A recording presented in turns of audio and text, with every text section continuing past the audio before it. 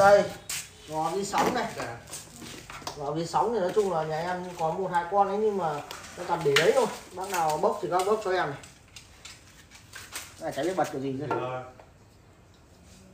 Ô. Chạy mà. Hả?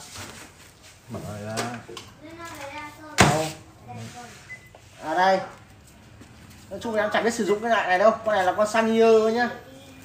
Sanier thiếu khay. Thiếu khay à thiếu khay thôi nhá. Thiếu khay em bán luôn này. Đấy. con này thì à, đây vẫn à, đèn sáng này con này. Con này đang bị thiếu khay ngang này nhá. Đấy nóng rồi nhá.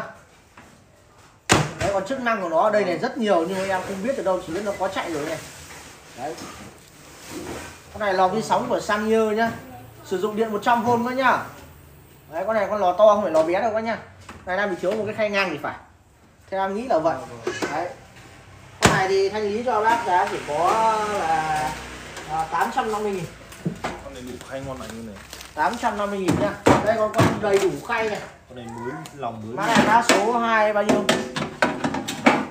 28 mấy? 286 286 850 nghìn. Con này lòng còn chưa dùng luôn. Còn đây bác nào thích ờ, con đầy đủ đây. Đây cho em tí. Con này đây con này thì đầy đủ đây đây nói chung là nó nguyên bụi thôi. Con em toàn để một chỗ nó hơi bụi tí quá thông cảm. Về bác lau chùi của em. Đấy. Con này con Sanier cũng giống con vừa đấy là nhưng con này đẹp hơn nhá. Con này đẹp chưa con này? Con này đầy đủ khay đây. Đấy đầy đủ khay này. Mặt còn sáng luôn này. Con này kính của nó vẫn còn sáng luôn nhá. Đây con này kính còn sáng luôn này. Đây kính sáng nhá. Đấy lò vi sóng nhá con này lò vi sóng cũng là của Sanier nhá à. đấy chạy này này. Chạy nha. Đấy chạy ngon lành luôn này. Con này mặt kính còn đẹp luôn này cái này. Nó hơi bụi tí thôi em không lau chùi thôi. Đấy. Nhìn nó đẹp không? Test thử cái này có test không anh nhỉ?